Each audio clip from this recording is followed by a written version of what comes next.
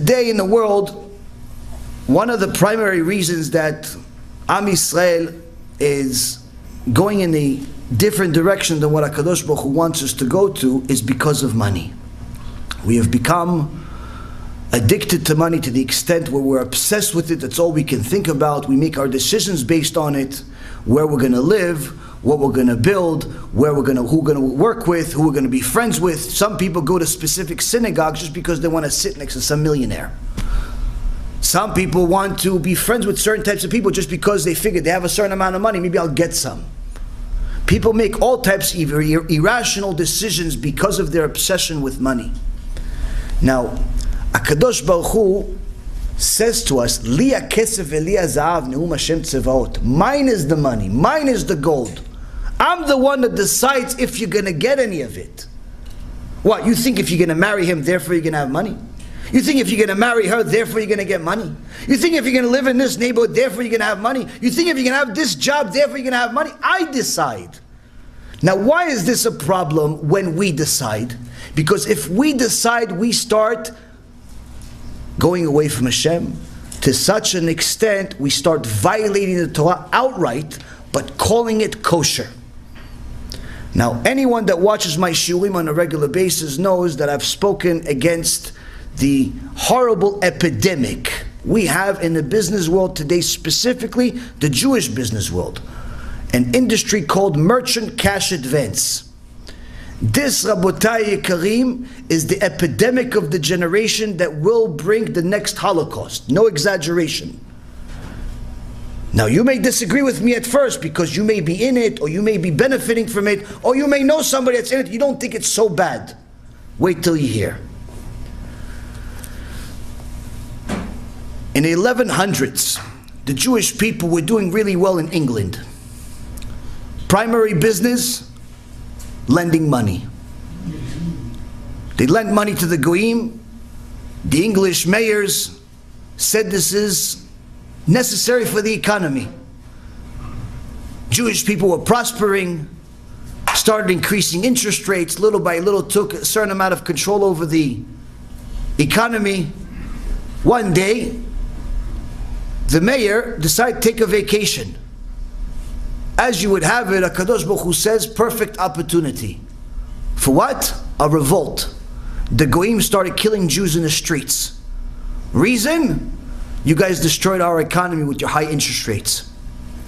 Fast forward, Spanish Inquisition, same thing happened. Fast forward, Holocaust, less than 100 years ago, less than 80 years ago. Number one thing that Hitler said that gave him a pretext of why it's a right thing to do to hate Jewish people is because of their usury, their high interest. It's so high it got to the point where it destroyed the German economy. Why? If you charge somebody an average interest rate, let's say 5, 10%, they're able, if with normal growth of the business, they're able to make payments. But if you charge somebody 35, 45, 50% interest rates, that means that that business has to double every year just to meet the demand of the interest payments. How many businesses do you know double every year? It almost never happens. It almost never happens, and if they do, they do it only for a temporary amount of time. The merchant cash advance business charges as much as 400%. And if that's not bad enough, they make people sign certain documents that give them outright permission to take over all of their assets in 24 hours, even if they're late by a payment. Not default, late called confession of judgment. Now, some people that are not familiar with this business, but they know somebody that works in it, may think, okay, you know, how is this going to bring a Holocaust? I mean, this rabbi is a little fanatic. Mordechai Yehudi was also fanatic, by the way. We have something in common. It's a good thing to have in common. Why? He was right. I am hoping I'm not right. You look at what's happening in the economy in America, many small businesses are failing. Big businesses are succeeding, small businesses are failing, declaring bankruptcy left and right, almost to the extent of what happened in 2007 2008 collapse. Why are they failing? The economy is doing fantastic. Why are you failing? Why is this guy sh- shutting down a shop and starting a new company the next day? He's declaring bankruptcy because he cannot meet the interest payments. He can't meet the interest payments. He shuts down the business, starts something new. All over the country and other places around the world, there are businesses being shut because of this business. This is exactly what happened before the Holocaust. This gives power to Amalek. Now, don't just so you don't think this is my source or this is my idea. This is also in the Torah. If you look at the Midrash Me'am Loez, Parashat Yitro, when he gives you the commentary on each one of the Ten Commandments, he says when there is usury, when there is dishonest business, when there is stealing, on the commandment of do not steal, he says if the Jewish people steal in large quantity, Akadosh Baruch Hu brings famine to the world. Starvation. All of a sudden, a Great Depression. Market goes to nothing. And if that's not enough, he also says, Lotin af. Don't be immoral. These gay parades and all of these things that people are doing as if it's allowed.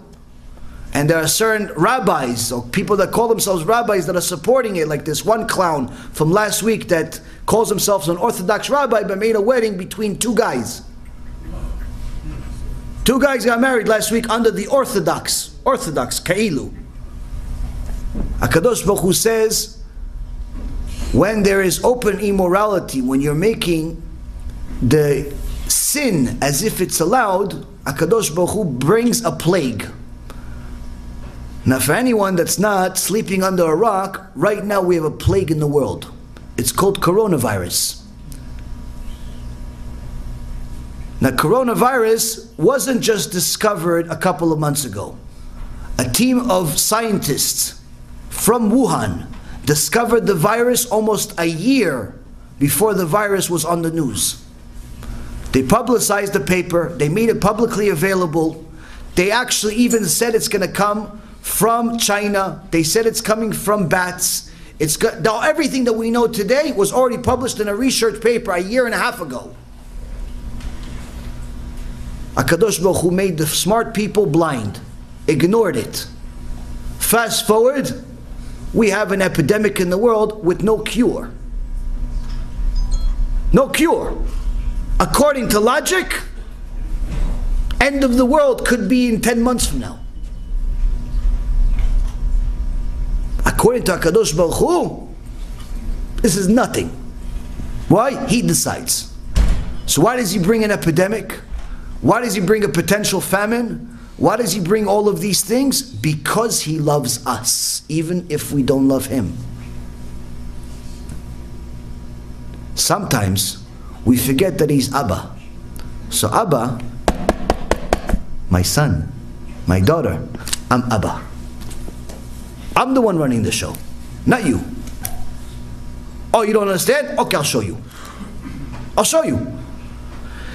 Rabotai Karim, certain types of people are in these rotten businesses that cheat goyim under the understanding that they're allowed to do it. So I'll read you a few halachot so you understand that this is not an opinion. If you look at David Melech, David Melech says that there are certain types of people that are going to see Mashiach. In Tehillim 15, verse number 5, he says, Anyone that lends people money with interest is not going to see Mashiach.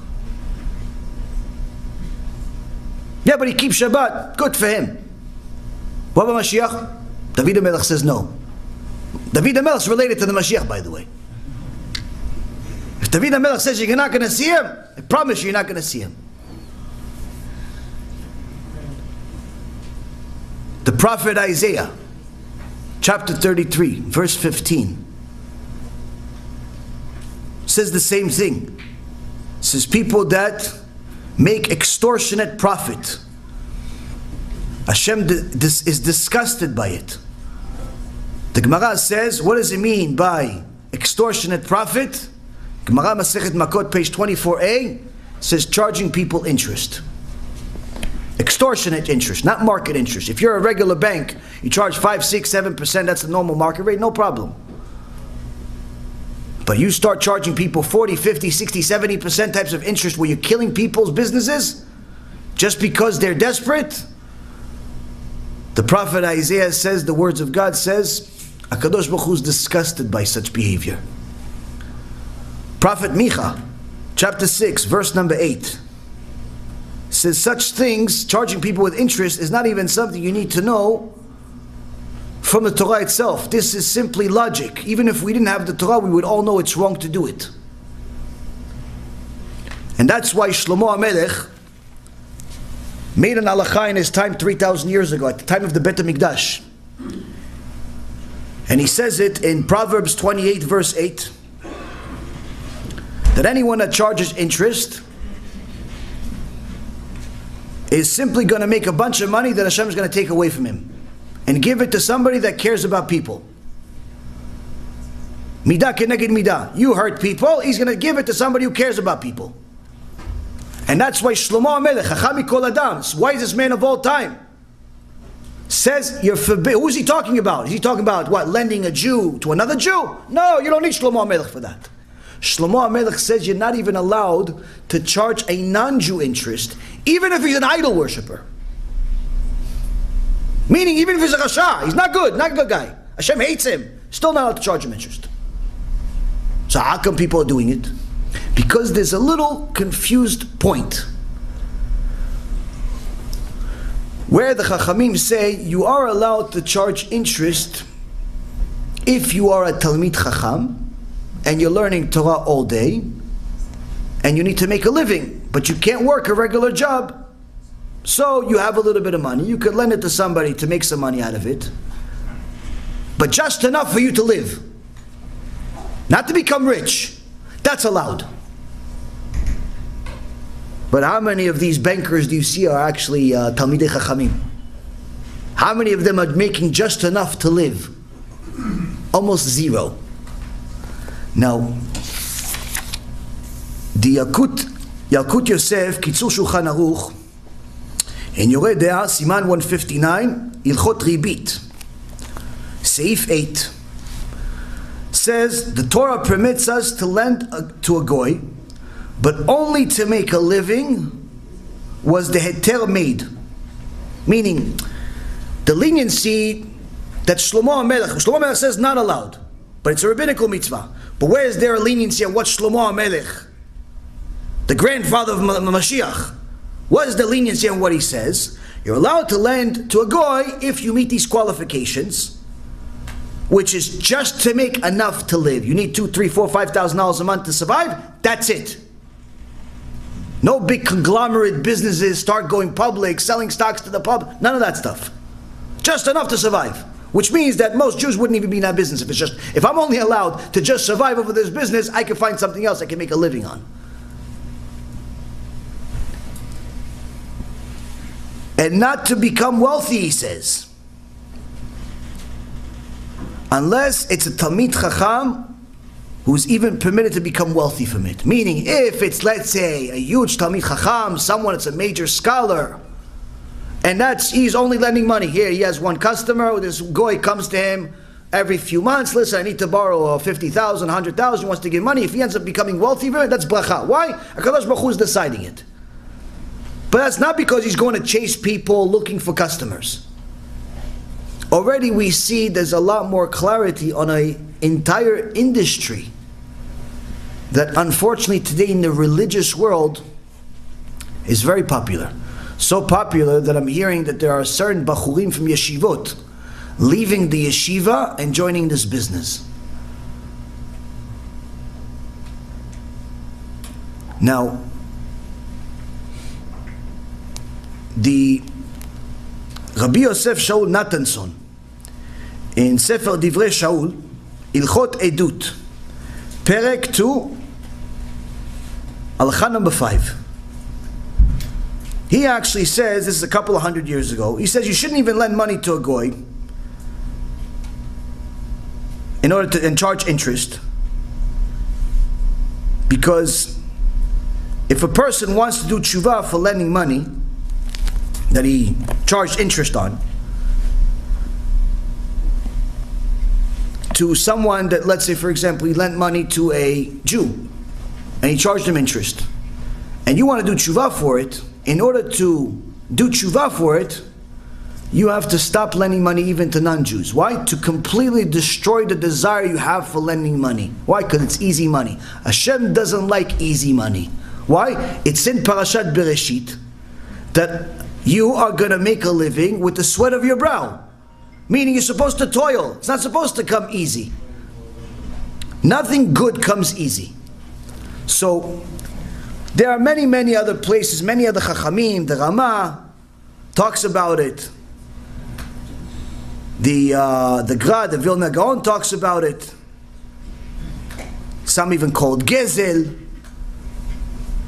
The sages talk very harshly against Jewish people making money with interest, whether to Jews or to non-Jews. Now, why do I tell you all of this? Most likely, maybe none of you guys are in the business, and if you are, Be'ezrat Hashem, you'll leave it. I tell you because I love you. I tell you because no one else is going to tell you. And the reason I know no one is going to tell you is because this business has been growing for years, quietly. And not a single rabbi has spoken against it. Why? Look, they're using the money for tzedakah. Look, they're using the money to build another yeshiva.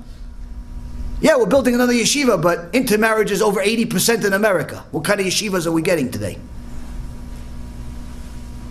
If the yeshivas are being built, great, it's good. We need yeshivas. I want to build a yeshiva also in Florida because over there we need a lot of help. Hashem Yishmor v'yatzil what kind of yeshivot we have. A woman called me just a week ago. She told me I, uh, I have a problem. I said, what's the problem? She said, what you said in the shiur two months ago came true. I said, I said a lot of things. Tell me, be a little bit more direct. She says, you said that there are missionaries, Christian missionaries, teaching inside yeshivot. I said, yeah, and? She goes, that's happening. I said, to elaborate, please. I want to say this in a shiur. She says, my seven or eight year old boy came home and said, Ima, I learned a chidush today from my history teacher. She goes, what'd you learn? I said, I learned about Yoshke. Hashem Yishmor v'yatzil. She says, I borrow money every month just to make sure my kid goes to yeshiva. He comes back to me with a different religion. This Rabotai Karim is not a new story and it's not an individual story. When our primary concern is building buildings and money, we start making all types of leniencies. Like, for example, hiring history teachers and gymnastic teachers and English teachers that are not even Jewish. Why? Maybe they're a little cheaper.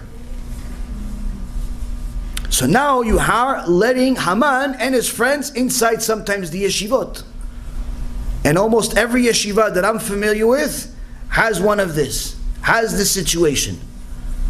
And they don't think it's a problem. I had a group of kids from here calling me for six months straight, telling me, asking me all types of questions, but questions that big people ask. Not questions that 13, 14 year olds ask. Big questions, questions that philosophers ask, questions that people that are very, very learned ask, adults ask heresy questions. Baruch Hashem, we had the answers for six months straight. After six months, I asked them, don't you guys go to yeshiva though? Where do you get these questions from? Says there's not our questions. So whose questions are these for six months straight? Oh, it's our teacher's questions. I said, what kind of rabbi do you have he's asking each question? He goes, no, it's not the rabbi, it's the it's the science teacher. I said, he's a Jew? He goes, no, he's an atheist. I said, you have an atheist teaching in the yeshiva? He goes, yeah, but he's not teaching us religion. I said, he's the best religious teacher in the world. Look, he's teaching you atheism. He's teaching you atheism inside the yeshiva. I called the Rosh Yeshiva, I saw him, Lumit Bayesh, you're not embarrassed of yourself, you have 14, 15 kids that are calling me left and right, and I'm trying to save these kids because from becoming atheists because of you. He goes, what did I do? I said, you hired an atheist. He goes, oh, he told me he's not going to do it. Well, I said, apparently he's doing it. He still gave him two weeks before he fired him. This is happening. Why? We're obsessed with money. Our obsession with money doesn't just start and end at being dishonest in business. Our obsession with money has many, many different tentacles that lead us astray, lead us away from HaKadosh Baruch Hu. And this is one of the things that HaKadosh Baruch Hu doesn't like. He doesn't like it at all. He doesn't like it to such an extent that he gives very big warning shots, like we see in the world today. Rabotai Kareem, some of this stuff may have nothing to do with you, but it may do. Your brother, your sister, your friend. Either way, a person needs to know that if he wants to have bracha in their in their parnasah, first and foremost, understand where it's coming from. If you understand where your money is coming from, you'll act accordingly. If you know that God is the one that's giving you the money, then there's no reason for you to cheat. There's no reason for you to try to maneuver something that's perhaps illegal or safek allowed, safek not allowed. There's no reason for you to cheat the system. There's no reason for you to try to beat the system. Whatever Hashem wants you to have, you're going to have anyway. This is one of the things that a person needs to know. And the reason why is because if you simply ignore everything I just said, which is everybody's choice, everybody can choose to do that. If we ignore it, then the problem is that Akadosh Baruch Hu says that if when we don't pay attention to his signs, you treat me with casualness, meaning as if what I'm saying is not so important, as if my, you know, permission to do something or prohibition to do something is doesn't really matter. Thank you. Bechamat keri says. You treat me with casualness, I'll treat you with double casualness. Meaning, the signs, the warning signs, the difficulties become much worse.